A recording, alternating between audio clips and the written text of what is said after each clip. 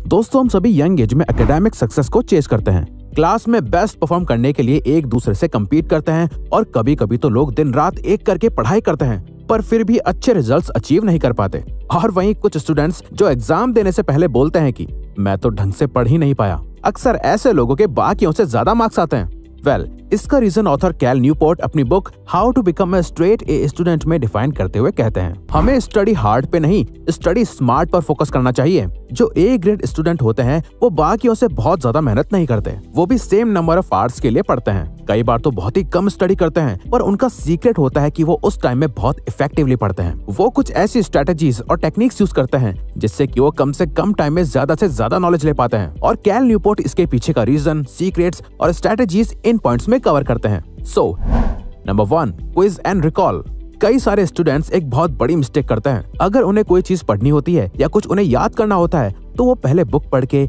या class attend करके उस चैप्टर या टॉपिक के नोट्स बनाते हैं और उन्हें याद करने के लिए बार बार उन नोट्स को पढ़ते रहते हैं, उन्हें री रीड करते हैं, जिससे कि उन्हें लगता है कि वो अच्छा कर रहे हैं। वो एक लाइन पढ़ते हैं और इमीडिएटली आँखें बंद करके उससे रिपीट करते हैं और उन्हें लगता है कि उन्हें सब याद हो गया। पर असल में वो इन्फॉर्मेशन उनकी शॉर्ट टर्म मेमोरी में स्टोर हुई होती है, जो लॉन्ग टर्म में उन्हें याद नहीं रहती। कई साइंटिस्ट तो कहते हैं कि ऐसा करना स्टूडेंट्स में एक इल्यूजन क्रिएट करता है।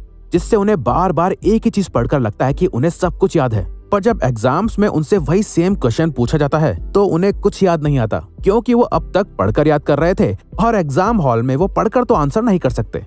आइंस्टाइन का कहना था कि if you can't explain it simply you don't understand it well enough इसीलिए ऑथर कहते हैं कि जब आप क्विज एंड रिकॉल मेथड का यूज़ करते हो, जहाँ आपने जो पढ़ा है, उसे बार बार पढ़ के याद करने के बजाय अगर आप उसे खुद को समझाने लगते हो, उसे ठीक से समझते हो, जहाँ आप ही स्टूडेंट और आप ही टीचर होते हो, बजाय रट्टा मारने के अगर आप उसे लिख लिख के समझते हो, खुद को एक्सप्लेन करते हो और बार बार लिखते हो तो अब जब भी आपसे वो सेम क्वेश्चन पूछा जाएगा तो आपकी राइटिंग और एक्सप्लेनिंग मेमोरी ट्रिगर हो जाएगी और आप एग्ज़ाम में सही से लिख पाओगे। क्योंकि आपने लिखने की प्रैक्टिस की थी और आपने सिर्फ़ पढ़ा नहीं था, बल्कि समझा था। Pseudo work versus deep work pseudo work को ऑथर डिस्क्राइब करते हुए कहते हैं, ये वो काम होता है जहाँ आप अपनी बुक के साथ डेस्क पर बैठते हो, जहाँ साथ में आपका फ़ोन आपके पास होता है। उसमें कॉन्टिन्यूस नोटिफिकेशन आ रही होती हैं, या फिर साथ में टीवी ऑन होता है, या बैकग्राउंड में आपके दोस्त मज़े कर रहे होते हैं, और उनकी बातें आपको सुनाई दे रही होती हैं। यानी जहाँ आपके काम के आसपास कई ऐसी चीज़ें होती हैं जो आपको डिस्ट्रैक्ट करती हैं और आपको फोकस और कंसंट्रेशन नहीं करने देती। वहीं डीप वर्क में आपका फोकस सिर्फ़ एक ही चीज़ पर होता है। आपके ब्रेन के पास उस काम पर फोकस करने के अलावा कोई दूसरा ऑप्शन नहीं होता। ऑथर इसका एक इक्वेशन भी देते हैं, जिसके according work accomplished is equal to time spent into intensity जहाँ सूडो वर्क में हमारी इंटेंसिटी कम होती है और उस काम को खत्म करने में ज़्यादा टाइम लगता है जो ज़्यादा मेंटल एनर्जी ड्रेन करता है और उस काम की क्वालिटी बहुत घट जाती है। वहीं डीप वर्क में हम अपनी इंटेंसिटी को हाई कर देते हैं जिससे कि हमें टाइम भी कम लगता है और हम ज़्यादा इफेक्टिवली उस काम को कंप्लीट कर पाते हैं। सो हम कैसे अपनी इंटेंसिटी को इंक्रीज करके डीप वर्क को अचीव कर सकते हैं? वेल well, इसका सोल्यूशन ऑथर नेक्स्ट पॉइंट में बताते हैं। Where when how long author कहते हैं हमें खुद से ये तीन सवाल पूछने चाहिए। Where when and how long where में आपको आइसोलेशन प्लेस देखना चाहिए, जहाँ कोई भी आपको डिस्ट्रैक्ट करने के लिए नहीं हो। आप अकेले हो, आसपास लोग ना हो। आपका फ़ोन साइलेंट होना चाहिए। अपने डेस्क पर सिर्फ़ अपने काम की चीज़ें रखो। वैन यानी आपको जितना हो सके उतना जल्दी पढ़ना चाहिए। क्योंकि ऑथर के अकॉर्डिंग जैसे जैसे दिन गुजरता रहता है, हमारी मेंटल एनर्जी खर्च होती रहती है और आखिर में बहुत ही कम एनर्जी बचती है। इसीलिए आपको सुबह जल्दी उठकर अपना मॉर्निंग रूटीन फॉलो करके जल्दी अपने काम पर लग जाना चाहिए, जो आपका मोस्ट प्रोडक्टिव टाइम होता है। हाउ लॉन्ग के लिए ऑथर कहते हैं कि आपको अपने काम को 50 मिनट्स के मल्टीपल सेशंस में डिवाइड कर देना चाहिए, जिसमें हर 50 मिनट्स के बाद आपको 10 मिनट्स का ब्रेक लेना चाहिए। पर आप शुरुआत में 30 मिनट्स का टारगेट भी सेट कर सकते हो, जहाँ हर 30 मिनट्स के बाद आपको 5 मिनट्स का ब्रेक लेना चाहिए और धीरे धीरे इस टाइम स्पेन को इंक्रीज करते जाओ। ऑटो पायलट शेड्यूल अगर आप स्टडी करते हो तो आपका काम फिक्स्ड होता है। आपको अपना सारा सिलेबस पता होता है आपकी क्लासेस फिक्स्ड होती हैं। आपके सारे टेस्ट और एग्ज़ाम्स भी फिक्स्ड होते हैं। ऑथर कहते हैं, हमारी स्टडी की टाइमलाइन ऑलरेडी एस्टेब्लिश्ड होती है। हमारे पास सभी असाइनमेंट्स और प्रोजेक्ट्स की डेडलाइन होती है, जो जनरली आपके इंस्टीट्यूशन स्कूल कॉलेज या टीचर्स डिसाइड करते हैं। जहाँ ये सब कोई और फिक्स करता है तो आपका इस पे कोई कंट्रोल नहीं होता।